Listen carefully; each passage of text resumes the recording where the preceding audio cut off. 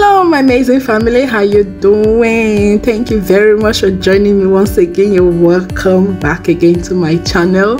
For those just joining us have you subscribed? You're welcome please. Have a beautiful seat. Subscribe while supporting us here. Please don't forget to turn on the bell when you subscribe. Don't forget to like this video and share to loved ones and family. Yes can you see the transformation of Peggy I don't know what pushed me because you know I'm into this too you know a set of characters so much here in my channel. And I said let's uh, you know say let me just go back. I don't know what I was just doing. I was just searching through doing some research. And I saw the old the old you know appearance of Peggy I said no this transformation is just so much so glaring you know so so revealing like I started thinking I said God and I started searching between the time that I saw that very old pictures and old you know um you know appearance of Peggy I said no Frederick Leonard is doing a whole lot. There was um a post I saw by Peggy Ovire say Igbo men that just you know caring people and said come and beat me in my house. When I saw that very post, I said, God, Peggy Ovire, you're looking for trouble. Of course, what she said isn't true. And I thank God because I can see so much by that post that she made that then herself and Frederick Leonard are still, you know, intact. They're having something in common, you know what I mean? And I so much thank God, like I always say, you know, Peggy us in one of her um, during the time when you know they had their um, their union together.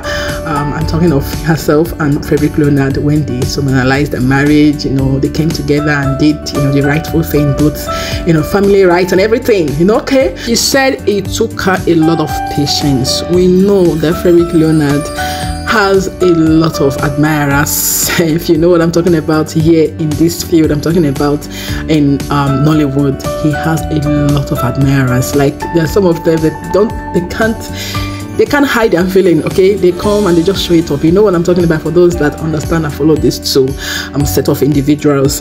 Very um uh, peggy Ovire told us that it took a lot of patience and the patient was so cooking. Like the cooking was you know it was you know when you cook and you know that this is done you eat it and say okay it's done now like it's done.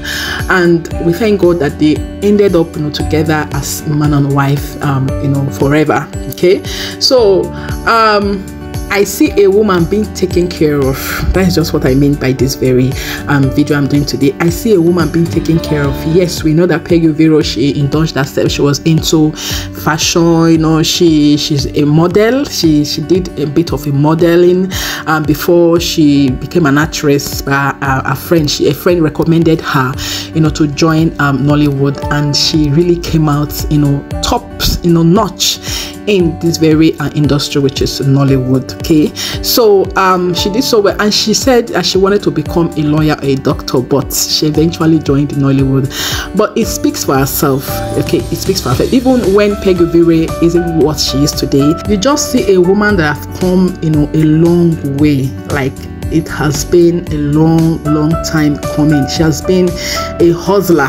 Mm? that's what i mean. Because when i was going through her albums and i was going through a rudiment like you know when you you know have someone that have a credential mm? i see i see somebody that you know she has been into fashion. Like it's not just what she's been taught to do it's in her blood you know. This has been in her blood even before she met Frederick Leonard so it's a beautiful transformation so far and i thank god for the development so far.